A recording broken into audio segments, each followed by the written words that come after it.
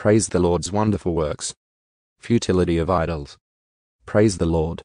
Praise the name of the Lord. Praise him, you servants of the Lord. You who stand in the house of the Lord, in the courtyards of the house of our God. Praise the Lord, for the Lord is good. Sing praises to his name, for it is lovely. For the Lord has chosen Jacob for himself, Israel as his own possession. For I know that the Lord is great and that our Lord is above all gods.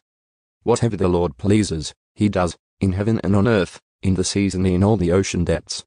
He causes the mist to ascend from the ends of the earth, he makes lightning for the rain. He brings forth the wind from his treasuries. He struck the firstborn of Egypt, both human firstborn and animal. He sent signs and wonders into your midst, Egypt, upon Pharaoh and all his servants. He struck many nations and brought death to mighty kings, Sihon, king of the Amorites, Og, king of Bashan, and all the kingdoms of Canaan.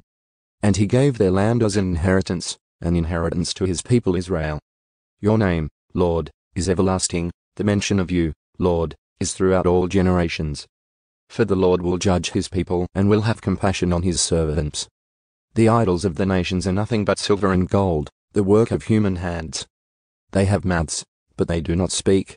They have eyes, but they do not see. They have ears, but they do not hear, nor is there any breath at all in their mouths. Those who make them will become like them, yes, everyone who trusts in them. House of Israel, bless the Lord. House of Aaron, bless the Lord. House of Levi, bless the Lord. You who revere the Lord, bless the Lord. Blessed be the Lord from Zion, who dwells in Jerusalem. Praise the Lord.